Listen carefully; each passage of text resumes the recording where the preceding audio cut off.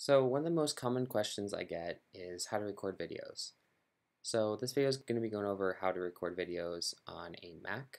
I'll have videos on Windows and Linux because um, people run into different issues.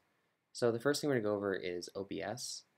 Um, and you can just download from the site, which I'll include in a link below. And I'll have a blog post going over how to record uh, videos on Mac in different ways. Is OBS. So basically just download OBS, um, since I already have it open, um, it's just simple. You can change settings, and I'll again go over how to change settings in the description and have you know useful YouTube videos. It's just it's pretty simple. It's a bit heavier. You can do live streaming, which is useful, and you can also do uh, hotkey start and stopping of videos. Um, but if you don't want to go through all this trouble, if you're natively on a Mac, you can just do QuickTime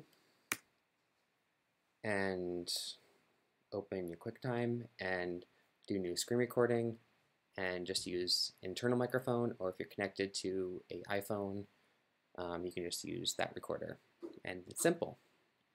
Um, additionally if you really really want to you can just do a new movie and that's it. In the next video we're going to go over uh, how to edit your videos right so I have a really nice video of my dogs playing.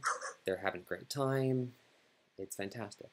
Um, but sometimes you you know just want to crop, or you want to add titles or transitions, and that's when we go over next. Um, basically, iMovie and puppies playing. And that's it.